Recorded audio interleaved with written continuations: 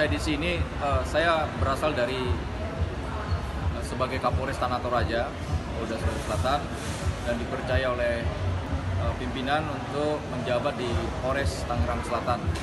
Di Polres Tangerang Selatan ini uh, kami mempunyai visi misi bagaimana menciptakan uh, situasi kondusivitas masyarakat ini selalu dalam keadaan tertib dan gangguan-gangguan yang selalu ada kami boleh segera untuk uh, menindaklanjuti.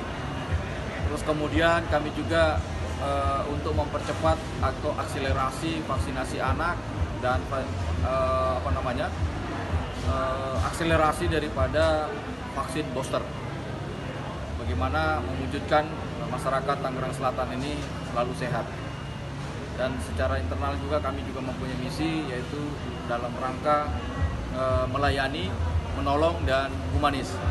Artinya mengajak Polres anggota Polres Tangerang Selatan itu untuk selalu semangat melayani dalam melaksanakan tugas pokoknya, terus kemudian gemar menolong dalam setiap interaksi dan perbuatannya di tengah-tengah masyarakat dan selalu tampil humanis untuk memberikan rasa kesejukan dan kenyamanan buat masyarakat. Uh, himbauan kepada masyarakat kami berharap uh, vaksin belum selesai apa namanya COVID belum selesai kami mengajak untuk tetap patuh dan uh, taat kepada protokol kesehatan dan untuk yang belum vaksin untuk segera vaksin dan saat ini sudah dibuka untuk booster. Mari kita untuk ikut booster untuk mewujudkan Indonesia sehat.